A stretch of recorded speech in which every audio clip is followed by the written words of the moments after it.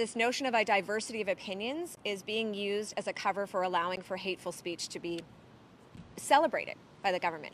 Um, this is not uh, about a diversity of opinions. They've actually chosen to celebrate and, uh, you know, award uh, an essay that actually is talking about white nationalist, racist theories. This is not about diversity of opinions. It's about saying uh, a refusal by the government to say certain views are not acceptable in a democratic, free country. Um, and yet they they clearly not only did they celebrate and award it, they, they chose it. I mean, this is what we have to be clear about. Uh, if the minister, associate minister, is saying it should not have been chosen, well, she was the one who chose it. Her and a panel of her colleagues within the UCP were the judging panel, according to the website and the contest rules, who selected this. So the question is, why is the judge who chose it now saying they shouldn't have chosen it? And then who did?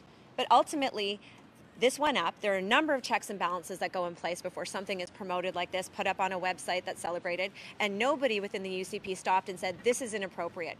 This is not the vision for Alberta's future. This is not the vision for Alberta women that we want to celebrate. In fact, it was put up, and the only reason Albertans are aware of it is because my colleague, Janis Irwin, brought it to the attention of Albertans. Otherwise, I think this would have simply, this would have been stood for some time as a celebrated essay on Alberta women.